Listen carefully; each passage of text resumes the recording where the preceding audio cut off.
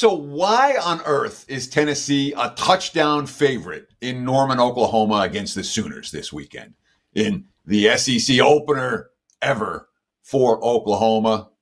Well, here's why. in week one, Oklahoma beat Temple 51 to 3. Temple was minus six in turnovers.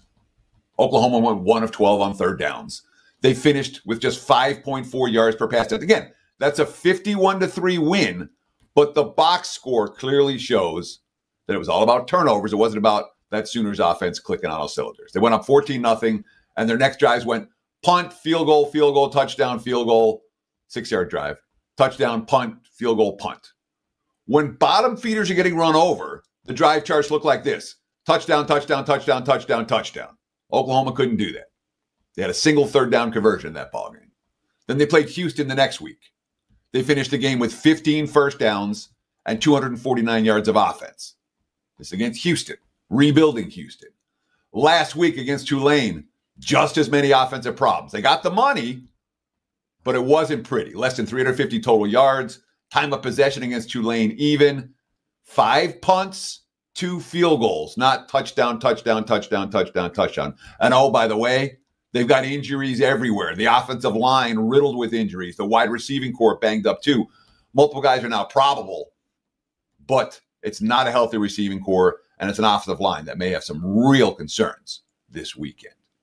Before I talk about Tennessee, I do want to let you guys know a great offer we have right now. I always say don't buy a play, buy a package. If you want to get on board, you can get a combo season pass right now. College football, NFL, get every play every day. You take 100 bucks off. Just use promo code FBALL100, football 100, FBALL100 at checkout and take a hundred bucks off that combo season pass. I encourage you to get on board. And of course, it's half off Friday. So all daily packages today only half off at wagertalk.com. So with Tennessee, you know, we've established at Oklahoma there's some weaknesses, perhaps. We know what Tennessee's going to do. They're going to score points. If you're going to cover against Tennessee, you got to trade scores with them. This is what they've done on the road in the SEC in recent years. All right. They hung 62 at Missouri. They won 40 to 13 at LSU. They hung 45 at Kentucky. They hung 56 at Vandy. They hung 51 at NC State on a neutral already this year. All right. This offense will score. And if you're going to cover, you better score with them. I don't think the Sooners can do that. I respect the early money that drove this line up. And I think Oklahoma will win by margin. What do you think? Let me know with a comment below. We appreciate the likes, we appreciate the follows very, very much. There's your big game breakdown.